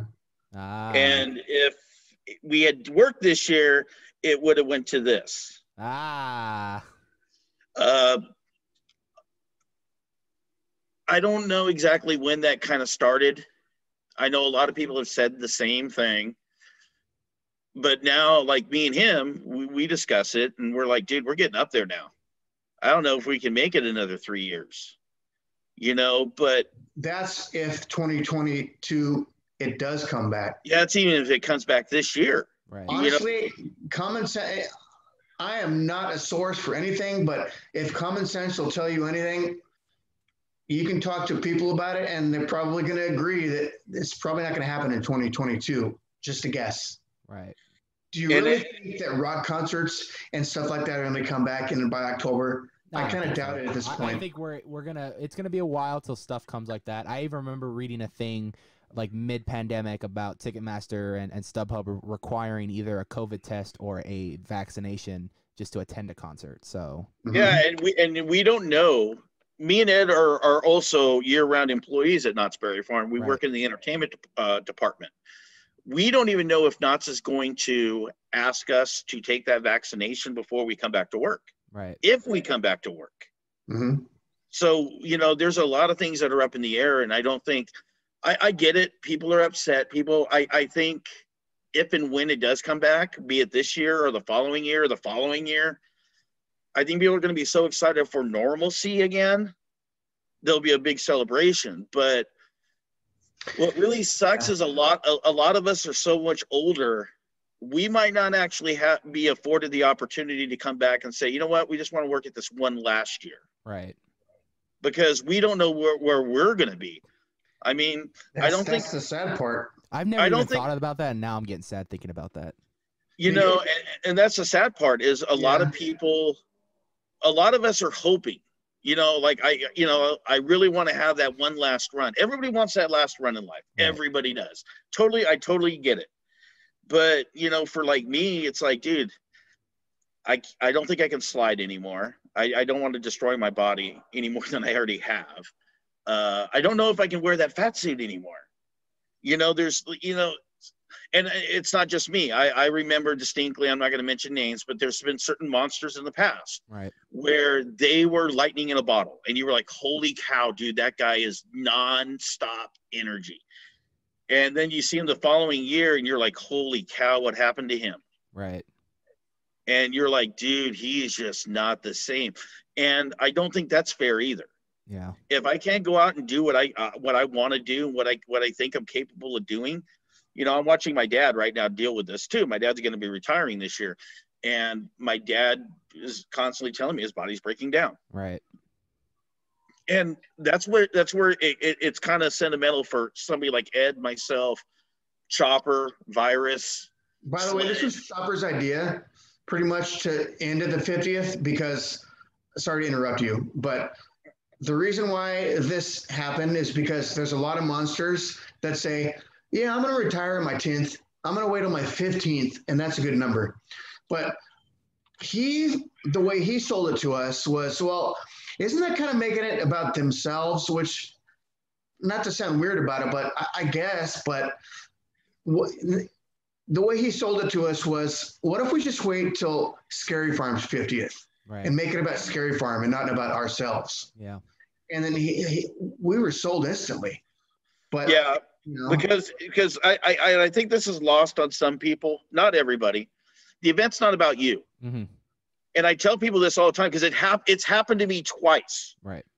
In 2013, like I told you, the guy that had the B space before me, Mike, changed the costume. He had blondish hair. I went with black hair. The whole costume was different. The whole concept was different. The only different, the only thing that was the same was the face. Right. And um, I, I was actually doing the buffet then too. And I'm walking through, and this lady stops me and goes, "Hey, can I get a picture with you?" And I'm like, and uh, I was like, "Okay." And she goes, "Oh man," she goes, "Yeah, I get a picture with you every year." Wow. And I looked at her and I said, "You know, uh, just to let you know, the gentleman that had this face before me no longer works. I'm brand new. This is my first year wearing this face." Fast forward to last year, or not last year, but two years ago Right. Some ladies like, hey, can I get a, you know, I want to get a picture. You know, I love getting a picture with the pig twins. Blah blah blah blah blah. You know, this is so great. I, I do this every year. I go, yeah, I've only been the pig twin now for about three years, ma'am. Oh, what happened to the girls? And I try to tell people this all the time. You are replaceable. Yeah. Once you're done working this event, not just a corporation, they will put somebody else in your face. You are not, everybody's expendable Right. for the most part. You know, and you don't make it about yourself. You, you know, you go out and you have fun with your friends. And I've said it numerous times. If all my friends decided, if Chopper, Ed, whoever, Sledge, whoever says it, goes, you know what? Let's all just go and work a maze this year. right. If everybody was on board with it and everybody wanted to do it, I'd go with them. Because it's about my, it's about so friendship. much fun. Yeah. Yeah, it'd be a lot of fun. No, it's I- about I- friendship. I, I, you know what? You just saying that is just awesome, man. I like hearing that because you're doing this. You know, not only are you doing this to have a good time, but you're doing it with your friends, and that's what makes Yeah, it even more of a fun time. and you Um, got to be humble. You have to be humble while you're doing it because, you know, there's a lot of people that, that he said in the past that they might last in Ghost Town for a year or, or any street zone. And uh, there's this supposed, you know, hierarchy at Scary Farm, which is bullshit. We all know. but people still cling to it. They go, okay, yeah. So now I've uh, I'm working the event. I'm in a maze, and oh, dude, I got Carnival or Ghost Town. It's like then all of a sudden they think that they're better than everybody right. it's not supposed to be that way. It- It's just it's like a regular job. You know, I'm the kind of guy that I'll talk to the I'll talk to the janitor in the bathroom and I'll talk to the CEO and I'll talk to them both the same way. I treat them all the same. I used And to that's what actually. you're Uh, supposed to do. I used to be a janitor at And you're supposed to be humble and happy that you're at the event. You know, It- like he said, we're all expendable. If if I still want to work the event and I'm having a good time, but they happen to say, "Oh, you can't work do this this year," I'll, I'll I'll do whatever Right. at that point because I like the event. Yeah. But who's to say what's going to happen in 2022?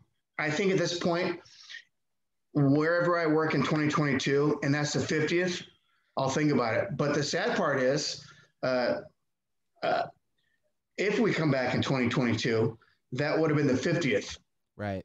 So, so now I have to question things. Do I want to go out that year, or do I want to go out what officially would be the 50th, which would be 2024? Right. dude, I'm going to tell you right now, I'm going to be 56 in 2024 because I'm 52 now if I'm doing the math right. Right. Yeah, you're good. 2024. Uh. Yeah, 50 I'll be at 55, 56. Yeah. Yeah. So now we can go a year further and think, okay, we don't know what's going to happen at this point. What say it comes back in 2023? Right. You know, what do you do? Um, now, I don't think Jeremy, I told you this yet, but I was texting Chopper and he goes, you know what? I think I'm gonna I'm gonna go ahead and and I'm gonna work, see if I can work till 2024. I'm gonna go with that. I'm gonna go with that original idea. And and I thought, well, that that might that might inspire me to do it too. Right. So I and mean, by the way, that doesn't that doesn't mean, like Ed said, that doesn't mean that we would even be the same characters right. yeah, because they can change that at any point. Yep. The, the one thing, I, the with one thing people. that I did really like was the last year we worked the event. The person that was in charge of our paperwork, uh, she's she's higher up there, and uh, she literally told me, she goes, you know, we want you guys to come back every year because we know you older guys especially love the event. Right. You're not here to. Do you know who I am? You know, I, for me, it's weird because Uh, yeah. I Yeah, work you like like Ed Ed Ed Ed works at Knott's I work at Knott's year round, and it, it's it's a funny story. Everyone laughs every every freaking time. I I've probably seen you guys there in 20. I used to work there in 2016. Summer 2016. I got I got. The Uh, I didn't start working there Well- until uh 18. 18. I, I've been a train bandit since 2013, so maybe you've We seen probably, me. we probably ran into each other. I, I I, had I a different look. services, so. I didn't have long hair. I, I looked different, I'm guessing, back then. I mean, uh, there I I usually work in the uh, panning for gold area, Okay. uh, and I love that area. It's great. It's right by Ghost Rider. I like to give people a hard time when they're walking by Ghost Rider. We and I was working one day, and I was sitting there, and these two boys are walking by in the line for Ghost Rider as they're walking towards it. And I was talking to somebody, I don't know. And the kid like kind of stopped and backed up. He goes, "Excuse me, I don't mean to interrupt you or nothing." And I'm like, "Yeah." And he goes, uh, "Are you one of the pig twins from Ghost Town or not Scary Farm?" and I, and I like looked at him. I'm like, "Y- y- "Yeah." And he goes, "Oh man, I recognize your voice." And I'm like, "Oh my gosh." It's distinguishable. I, I, I was like, dude, this guy literally was just walking by, heard my voice, and stopped. I was in Target like two months ago, and it's the Target right here on Orangethorpe and, uh, Western, so it's right down the street from Knott's. right. Yeah, I know it's an exact one. Yeah, and I was in there shopping, and I was paying for stuff, and I was start talk. I started talking, and out of nowhere, this older lady points. She goes, "You're the pig twin for Not Scary Farm," and I'm like. holy cow. And I'm like, yeah. And I'm like, oh, you, you know, and she's like, I follow you on Instagram. And da, da, da. I'm like, oh my gosh. I'm And I'm glad I don't talk out there, man. I'm glad all I do is hiss. I'm Actually, happy you know for what? That's not true, Ed. We recognized you immediately, and we're like, we know who you are, and we respect the fuck out of you. why? Because I'm a walk. I don't know how we knew who you were, but we knew who you were at the concert. Ed, Ed has a very distinct walk. If, if it's really dark and you see, it, Yeah. Okay. Ed kind of walks like a Sasquatch with his arms down. You kind of know when Ed's coming because you're like, oh, dude, there here comes Ed right now. And he's like, hey, what's up, guys? yeah. You know, and you're like, dude, it's Ed Kobb. He's here. yeah. You know, but I, I, I, Go think, I ahead, think we noticed me because of uh, because of YouTube. I think that's how we figured out who you were. Me we were or watching your YouTube. You. Uh, Ed. you Ed. We were watching your YouTube videos prior. Do I have do I have video of me on you know I have to look at my YouTube. I haven't looked in a while. Uh, Do I have video of me as an ad on YouTube?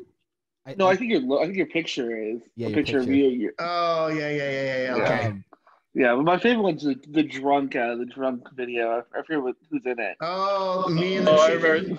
Remember. I'm Yeah, thinking yeah, uh, yeah, yeah. you need to upload all the uh, the uh, um, the Ed Kobb Instagram videos on the YouTube page, man. Um, you know what? There's a way to do that, but it, it's going to mute the video. Because of the music, huh?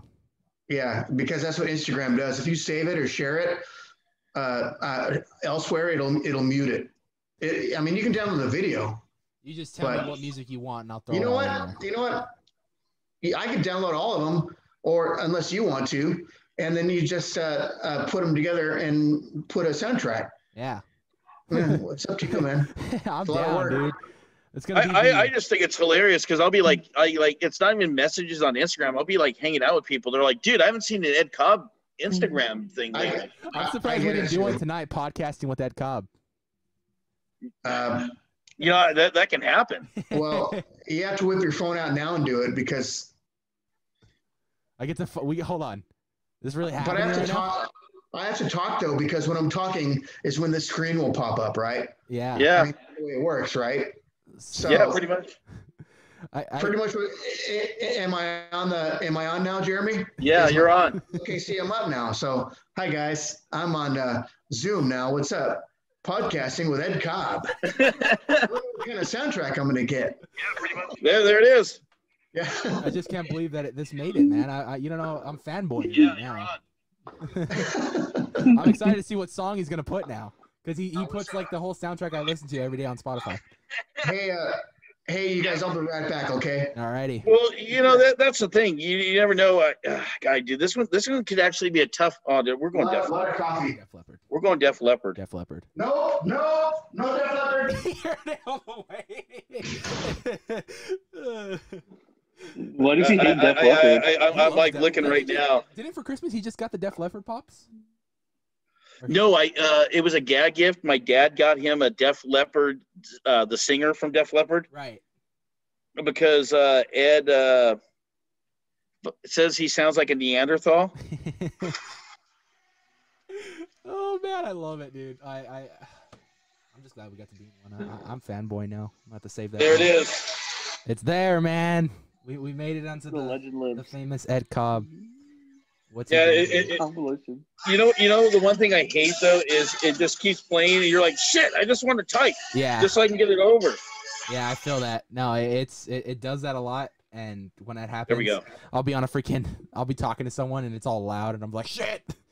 Um, no, I, I think this honestly, if we can, uh, and, and a good way to, to wrap things up, man. I I appreciate whether you guys hang it up this year, whether you hang it up next year. I we, I think I can say speak for all of Nights of Horror when we say we appreciate the hard work and dedication that you guys put into these characters to bring the the lore and story of Ghost Town to life, to just bring the, the lore and the story of the entire event to life. I, I think that's why fans like us return every year because we like to see what's next in the story. Especially last year when when they did or 2019 when they launched the origin storyline, which I think was fan. Oh, that was a, it was a beautiful maze. Yeah.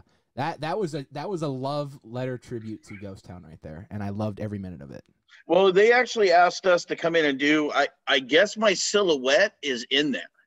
Oh, I never, I never actually walked. I only walked through it once right, because I don't go there on my night off. We get one night off, right, and I usually tend to try to get that right dead center so I can rest that night. right. Uh, but they actually had a few of us come in and do uh, a video thing. And they said, oh, yeah, this is going to be going into origins of us transforming into our character. Right. Well, that was fun. Yeah, that was a lot of fun. Yeah. I kind of wish uh, I had seen it, you know, because I mean, Was it in the maze, or there was actually a little light show facing off the uh, stage wall that actually showed a lot of transformations? that's probably what that was. Yeah. Uh, they just asked me to come in and uh, basically they had me get in the suit and uh, they put the face on me and everything and just had me like, ah, just do the thing. And right. I was like, okay, cool. You know, I, I had no idea what it's for. Yeah. I didn't Well, know- he already mentioned me in his story. Yep. There it is. So what, what I'm going to do now is I'm going to do like I usually do, put it on my story so I can highlight it and put it in my highlight on Instagram called My Stalker. If My you haven't Stalker. noticed, I have one. I have an Instagram called uh, a highlight on it called My Stalker. And it's got a picture of Jack Nicholson knocking on the door in The Shining. I love it. Little yeah. pigs. Little pigs. Yeah, you know, but uh, yeah, this has been a lot of fun. I'm, I'm glad that uh, you allowed us to come on and just uh, shoot the uh, proverbial shit with you, Yeah. you know, and uh, Yeah. No. you know the only thing I, I i can tell guests is you know hopefully at some point we do uh return hopefully uh be kind that's and, the and, endgame. and, and and remember guys it's a job uh and uh be polite to just be polite Yeah. you know like uh, real quick i mean there was like one night if you guys know the mummy Yep. chase and then there was another gentleman that uh, i'm not going to give his haunt name because it's well swamp ass uh we actually we actually caught a guy over by the candy store smoking a joint making out with two chicks at one time That's pimp. right behind the uh the bank It probably And was was- Ed. Ed. Ed Kobb. You know, he's he's known. He's- he's- no it wasn't ed Kobb because this poor guy paid for that because me and chase were just walking by in our Oh, wait a minute. Because I look like this now, you think I smoke pot? no, I think because you're a player that you can score two chicks at the same time. He's, he's Oh, done it that's sure. Okay. Thank you. but uh, uh swamp ass actually like looked at me and I wasn't chase listening. he's waving us down and we're and we're like what he's like dude there's a guy back there he's making out with two chicks and he's smoking a joint let's scare him and i'm like okay So we all like literally got in a line and just stood on the side of the building. And he's like, on the count of three, we're just gonna haul ass and turn that corner and scare the shit out of them. And we're like, okay. So he, you know, one, two, three, and we just ran, turned the corner, this dude fell off the fence he was sitting on, and there was a cactus right behind it. Oh. He landed on the cactus and he screamed. And but it, it was the weird part was he wasn't screaming in pain. He was screaming, "I wasn't smoking the joint, man." he was more concerned with trying to make it sound like he wasn't smoking a joint. The two chicks are freaking out. Let's get out of here. And we just turned around and hauled ass out of there. and that was probably one of the best freaking moments I ever had. I was like, wow, dude, that guy fell in the cactus and didn't even care. Ed, what about I don't you? know if What, what was the best moment you ever had working that that that event before we log off, man? Uh, me? Yeah.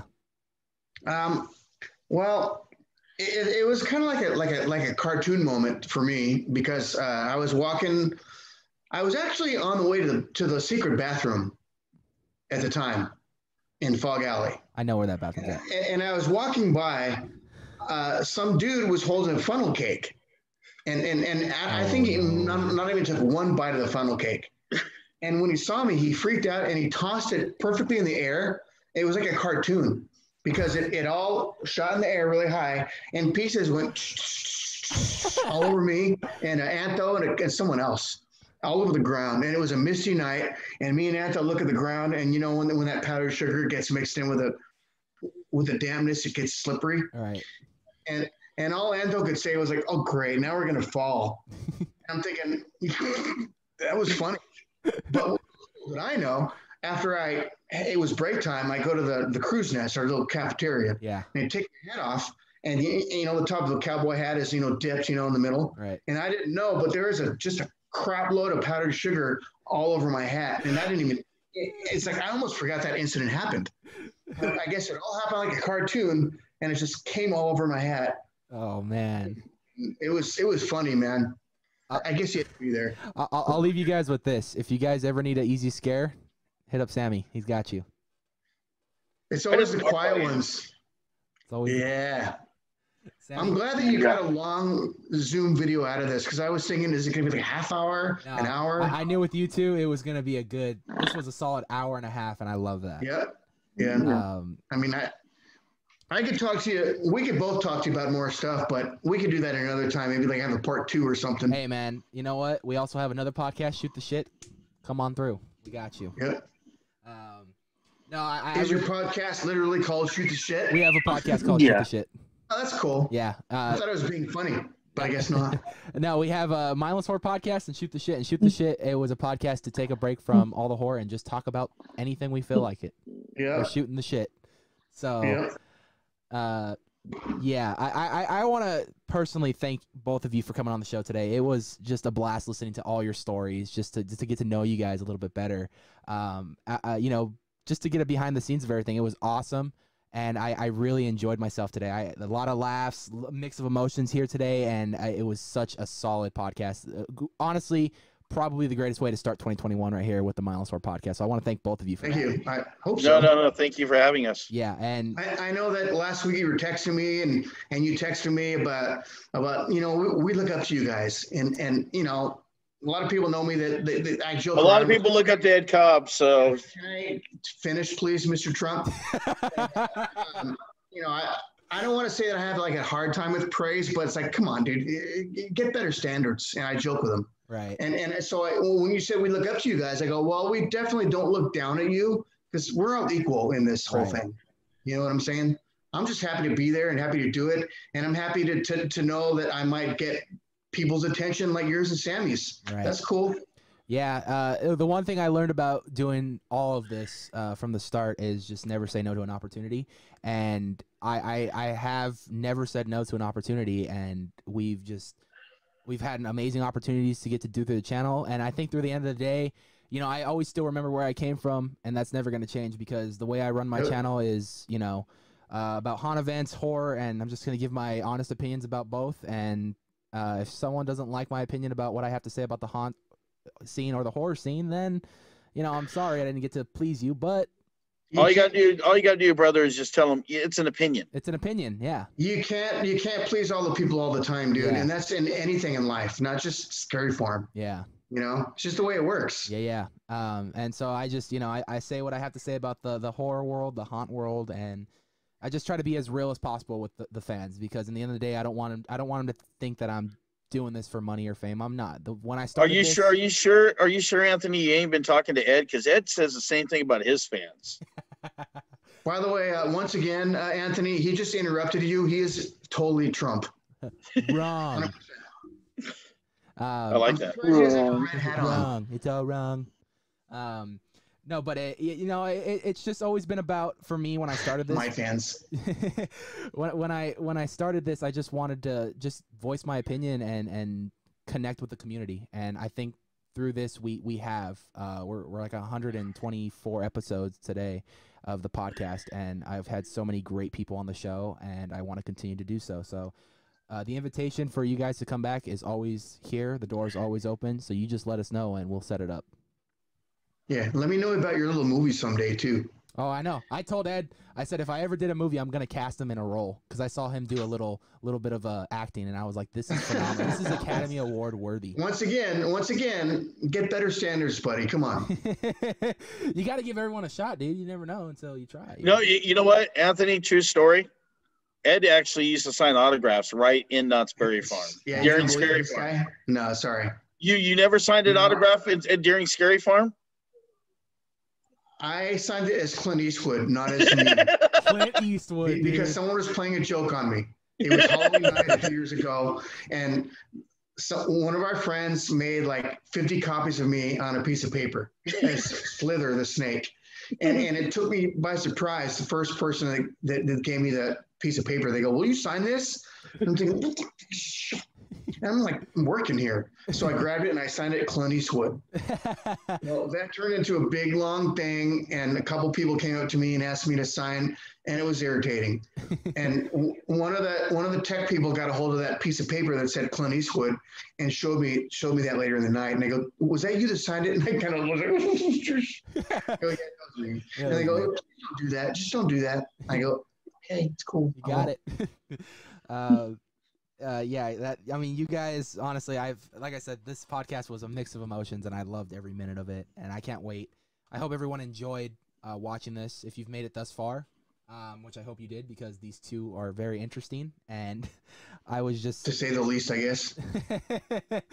uh, but guys, I, I I promise you, when this when this pandemic comes to a chill, I'm gonna buy you guys some beers, and we're gonna hang out and chill and have a good time. Good luck, dude, trying to find something I ain't had. you know what? Whatever. We'll, we'll- whatever you want. We'll drink it, you know.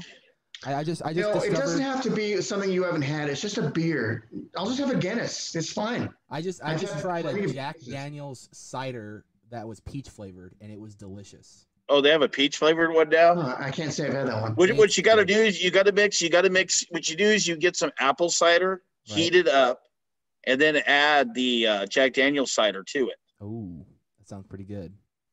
Yeah, I'm when they they start when they started selling that stuff, that's what I did, and I got like three or four girls hooked on it. Nice. I gotta try that. Uh, I'm always willing to try anything. I love Jack and Coke. That's the simple. Lemmy Kilmister.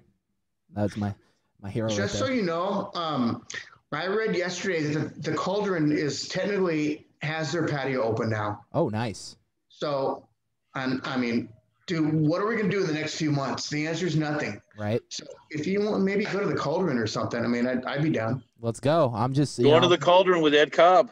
that's gonna. Be, I, I'm just heard it waiting. here I'm, I'm. I'm still waiting on my stimulus check, man. I haven't gotten that yet. Freaking Dude, that is so. You know, I got mine ten minutes after midnight. lucky. It's so. Everyone around me got it, and then I checked my bank account, and it still had. Uh, Are you like- Wells Fargo? no, I'm with uh, SchoolsFirst. Okay, well maybe that's. a So am I, too. but I, I went with the paper version, so it's probably going to be like two Uh, more weeks. Yeah, they said if you didn't get it by Yeah, the, gotcha. if you don't get it by the 15th, uh, I think they said or the 12th. I don't remember, but uh, all right, gentlemen, thank you so much for being on the show today. I really Holy appreciate it, and I love Thank you. I love this. You guys are always welcome back. Thanks, guys. If you guys are new to the channel, hit that subscribe button with that bell notification be aware every time we put up a new video. If you guys are listening to this on Spotify, uh, Apple Podcast, wherever your playlist for podcast is, uh, make sure to give that podcast a like because it, it helps us a lot to, to get feedback as to what you guys like. Um, also, follow us on social media at the Nights of Horror on Instagram and at Nights of Horror on Twitter. Check out our merch store. Links in the description below. Uh, my name's Anthony. That's Sammy, I guess, Oh. but he's not talking. Oh, so. that's your boy Sam. I didn't know if I was muted or not. well, yeah, we have Jeremy today. We had Ed today. Great people. Hope you guys enjoy this podcast, and we will see you guys next week with a very special guest. Peace.